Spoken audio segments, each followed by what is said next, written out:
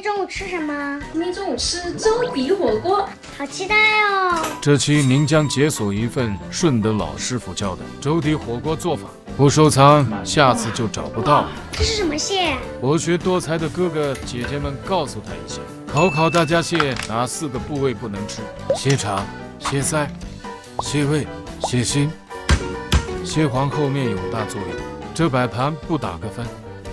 像咱们这种视海鲜如命的仙人，逮到机会吃海鲜那不得，一次吃个爽。但是我感觉好单调，海味没有山珍陪着好孤独，松茸两百零八一斤好贵，山珍没有牛牛陪着感觉也好孤独。主角来了，大米加花生油直接冷冻一晚，不用解冻，直接加水小火煮至粘稠，再稍微加一点纯净水搅匀。大米捞出来，后面煮先掉眉毛的粥，刚才的蟹壳和姜丝加进去，你就能得到一锅鲜掉眉毛的五米粥了。隔壁不知道的以为我在用电钻做饭。三款百年粥底火锅店同款蘸料配方给你们放这里了，吃的辣的一定要尝试下这个。这个是本期 Number One 柚子醋底，吃饭前还要辅导一会小小一只狮子走了，我们安全了。啊，这是一个情景代入。那你知道什么虎队？就这样了，留个问题给各位姨姨们。小小又开始和爸爸撒娇了，我肚子都饿扁了，要不我们先吃饭饭？吃吃。我把生蚝都下了哦。好的。下菜的顺序也有讲究。啊，我昨天上真的超不得胃口。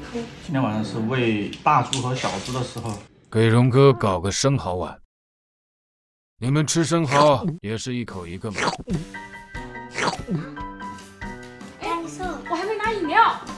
拿妈咪饮料啦。周末快乐！好像小学生。干杯！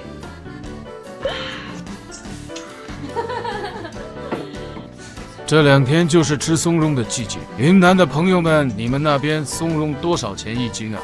好好吃哦，脆脆的，香香的，是不是？对，松露的香味特别。松茸，给你吃点油啊。嗯，谢谢老婆。帮我多。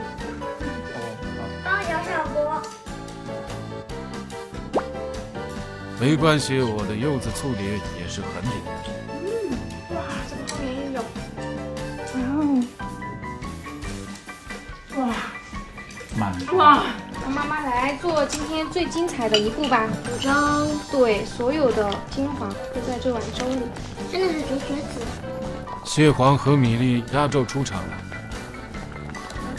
这才是粥底火锅最后的灵魂。看小小这反应，这东西真的好美味。对不起你。我一个四川人，真的好爱粥底火锅，剩下的明天还能吃一顿。